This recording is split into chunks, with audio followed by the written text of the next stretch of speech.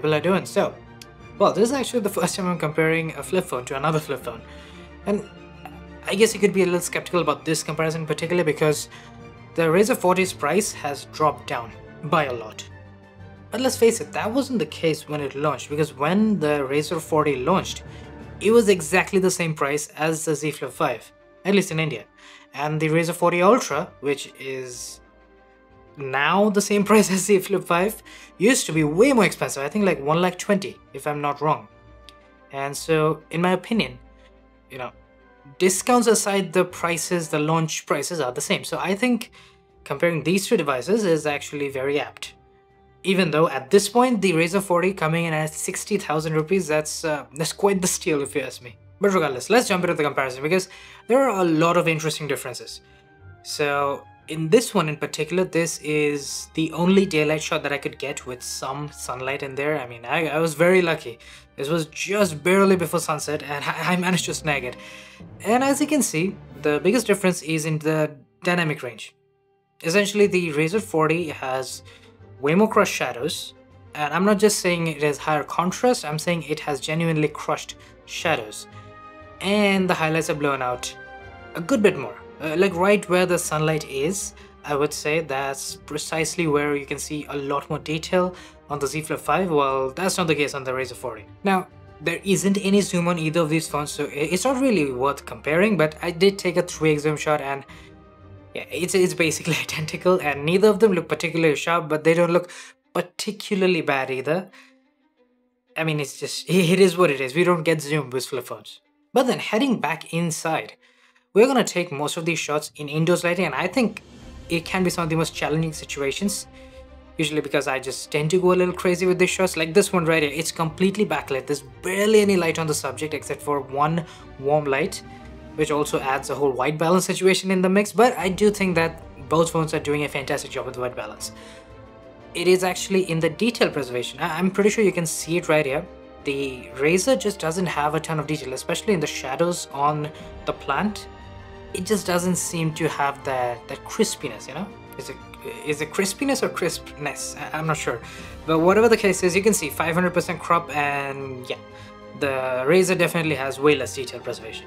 Now the ultra-wide camera, the only other rear camera that we have on both phones, yeah, I, I took the I took basically the same shot as I did with the main camera because this was the only time I got with a little bit of sunlight and any other time of day it's overcast, it's darker outside than it is indoors. But regardless, I do think that we have a similar type of problem that we had with the main camera.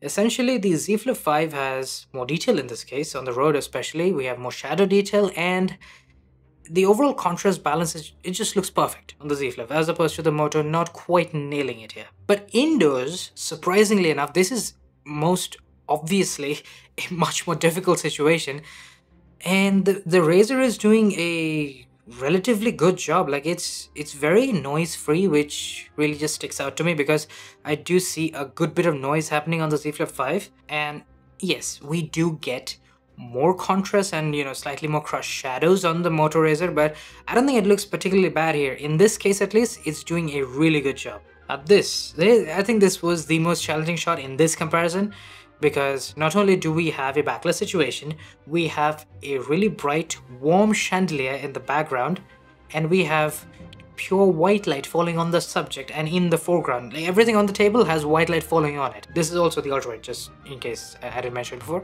First and foremost, the Razr has impeccable white balance. The whites, as in the pure whites, which you can see on the chair, on the pebbles, it, all looks perfect. It all looks exactly like it should when white light falls on it, while the Z Flip is cooling things off a little too much. And the noise level on the Z Flip is very, very high. I mean, we saw this issue previously as well, but in this one, it's very obvious. Now then, close-ups. Well, close-ups are interesting for me because there are two ways you can take close-ups. First is with the main camera, and to be entirely honest, as much as I love a good macro mode, I do enjoy taking main camera close-ups because obviously you get incredible quality, as you can see right here, amazing detail preservation, amazing quality, and you get a metric ton of bokeh in the background. So that's that's obviously a very nice thing. You obviously can't get as close as with macro shots, and in this case, with the main camera, the Z Flip can get a touch closer than the Razr 40. But the Razr 40 has a macro mode. The Z Flip 5 does not. I don't exactly know the reasoning behind it, but all I can say is with the macro mode, if you really want to take close-ups, if you really want to get up close and personal to whatever it is you're trying to shoot, well, the, the Razr is going to come out on top, plain and simple, with a good macro mode. And that's not all, it also has a 64 megapixel high res mode. We don't get any high res options on the Z Flip 5, which is interesting. I guess it doesn't really matter all that much, but with the Razr coming in with the 64 megapixels, now that makes it quite interesting. Because as you would expect, with good enough lighting, I mean this was indoors, not even like proper daylight, where ideally you'd want to shoot high res, I still think that the Razr is doing a tremendous job. The Z Flip is close. Truth be told, it is doing a really good job in keeping up with the general detail preservation and the software sharpening is there.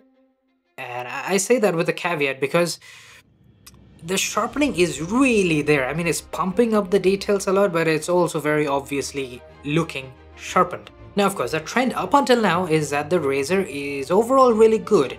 It has what I would consider a really good ultrawide camera. It has very noise-free ultrawide shots and the high res works out quite well in my opinion, not to mention the macro mode which to some people might even be a deal breaker.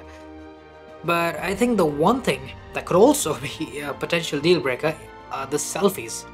The Z Flip 5, as far as I've seen, is potentially the world's best selfie photography device that you can buy right now. For a very, very simple reason. The Z Flip 5 can use its rear cameras for very easy selfies. And by easy, uh, there's a very good reason I say that. I'll get into it a little bit later. In this case, we're using the you know technical selfie cameras, but you really shouldn't be using them. And to be honest, even with the selfie camera, the Z-Flip is taking a lead because uh, Razr, again with its selfie camera, it, it, seems to be having issues with dynamic range here. Now the problem with the Razr is that it has an outside display. It's a very small outside display, but the software doesn't allow us to have a small viewfinder on the outside. That means you cannot frame up selfies. It would be very difficult to frame up selfies even if we had a viewfinder because the Razr 40 screen is really that small. But even then, if we had one, at least I would just say that, yeah, you're getting good results on both, but it is significantly easier on the Z Flip 5 to take good selfies because the screen is so much larger. That would be my conclusion had we had rear camera selfie capabilities on the Razr. We don't, so that just completely makes the Z Flip 5 obliterate the Razr in this department. And you can take ultra-wide selfies as well, which let's just say if you really like taking groupies, this is it. This is a phone for you. And a huge benefit on the Z Flip 5 is that when you fold it up, it's so compact, it is just a breeze to take any kind of selfie, whether it's ultra wide or the main camera. And coming from me, that's a huge praise because even though I don't really enjoy it, I have to take a ton of selfies. A ridiculous amount because of these comparisons, of course. Not because I have an OnlyFans. But anyways, let's move on to selfie portraits. And yeah, wow, the struggle is real the Razr 40 here. Like, that's that's not good. I cleaned the lens. Believe me, when I first shot the shot, I was like, there's no way the lens is clean. Apparently it was, and apparently this is the best we could do. I, I don't even need to tell you that the Z Flip is doing um, monumentally better job. Even night selfies are significantly better on the Z Flip 5.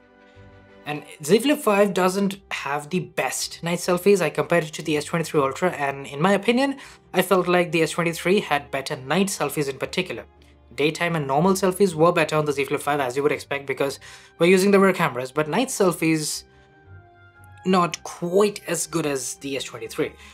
But that's irrelevant in this case because the Razr obviously doesn't have nearly as much detail preservation as the Z Flip 5 here. As for night portrait selfies, also another option we get on the Z Flip 5, and with the rear cameras, I, I mean, do I need to tell you just how much better it looks? It's, it's ridiculously good, and if you think that there was a lot of light, well then the Moto Razr is a proof right there. There was very little light and it looks impeccable on the Z Flip 5. Basically a perfect portrait selfie right there. Now then, rear camera portraits. Well technically we were looking at rear camera portraits on the Z Flip right now, but regardless. I would say in this case the Razr is screwing things up a little. Not only does it have this slight amount of smoothing happening on my skin, which I'm not a fan of, I turned off anything that I could turn off, and the Z Flip just has better detail preservation. It's doing a far better job with controlling the saturation, and the skin tones look really nice. It maintains a warmth without going overboard. That's a very fine balance, and the Z Flip nails it. The only thing I like about the Moto is that it has slightly better contrast, and the blacks on my t-shirt look a little bit better. Now, a backlit portrait, well, I mean, it wouldn't be my comparison if we didn't have a backlit portrait, right? So, yeah, the Razr is struggling. Now, look, to be fair, there was very little light on my face and just a ludicrous amount in the background. But whatever the case, at the end of the day, Z Flip is doing a significantly better job. The detail preservation on the Z Flip, that's what really gets me here. Because with such little light, it's actually doing a really, really good job in this situation. And night portraits, again, the Z Flip just takes a massive lead. Like, it's been handling human subjects so much better than the Razr 40 that any lead that the Razr had previously is basically equalized at the very least. It's been equalized. But the night mode, well, see, this is where things might get interesting. Let's find out. So this is with the main camera and uh, surprisingly the Z Flip is doing a really good job here because it's not you know brightening things up way too much it's maintaining perfect white balance like every single one of those lights every single street light in the area was warm so the warmth you see on the street on the Z Flip is perfect. It's accurate. Not to mention the general contrast is way higher than the Razr so it just looks so much better to my eyes. And now this one. It doesn't look all that difficult because the phones are doing a very good job with the situation but it was fairly challenging because all the shadows all the leaves and the plants that you see in front, they were mostly in the shadows.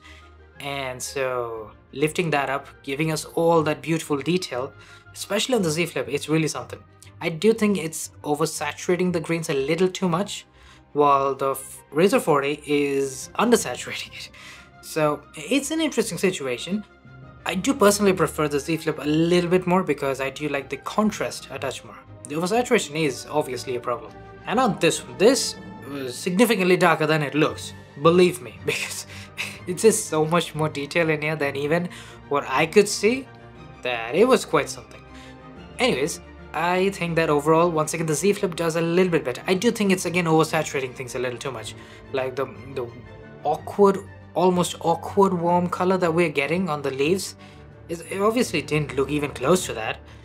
And the, reason why I prefer the Z Flip in this case is because the sky looks way smoother, way more clean. Now then, the ultra wide camera, well, you know, initially I really expected the Razr to take a lead in the ultrawide because it took a lead in the daytime shows.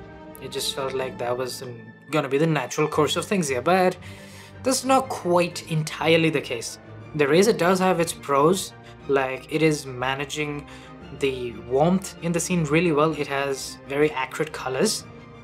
But the Z Flip has so much more detail, less noise, especially in the sky. It's not a massive difference in the noise department at least, but the detail levels are significantly higher. I think that has something to do with the exposure time. The Z Flip had consistently higher exposures, at least with the ultrawide camera. And this ultrawide shot, it's like the final nail in the coffin, right? Because essentially, yes, the Z Flip has its issues, but comparatively speaking, it's not quite good on the Razr 40 now, is it? The details are just gone. The sky looks like an oil painting done by a toddler.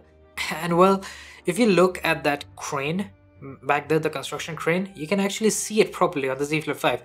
It's so smudged up on the Razr 40, it looks like a UFO. So that's not a good thing, obviously. So that's a wrap for this one. Well, I guess we could say that the Razr definitely has some issues. Now, I am in general leaning towards the Flip 5. Don't get me wrong, this, the Z Flip 5 has its issues. Like the ultra wide camera, it's good, but it could be significantly better. Like, especially with the daytime shots, I think the processing needs some kind of an update or something because I do see a lot of noise happening on the Z Flip 5 from time to time. But the Razr, see, that, that one had quite a few issues. Essentially, you have no selfie options with the um, rear cameras, which is criminal for a flip phone. And well, the selfie camera itself, it really doesn't stack up. I mean, it has a lot of issues. And surprisingly enough, we had a lot of issues with portraits as well, regular rear camera portraits. So, eh, you know, if you really think about it, if we had selfies with the rear camera enabled, we would still be facing some problems, right? Because at the end of the day, if the portraits don't really work out with the rear cameras, neither are gonna be the selfies, even if you could take them. Now, look, I get it, ultra-wide night mode is not something that everyone wants to use, but believe me, if you have used any phone in the past that had genuinely good ultra-wide night mode, I mean ultra-wide night mode shots that looked incredible, impeccable. I have used a number of those phones and I must say it's it's very, very, very hard to go back. It's basically impossible to go back. But anyways, I hope you guys enjoyed, found this helpful, and well, in my opinion, the Z Flip 5 at this moment at least, it has a better camera. Now, the Razr's significantly lower price tag at this moment at least, it might help compensate for that, but I don't know. What are your thoughts? Let me know. Anyways, I'll see you guys sooner with many more to come. Cheers.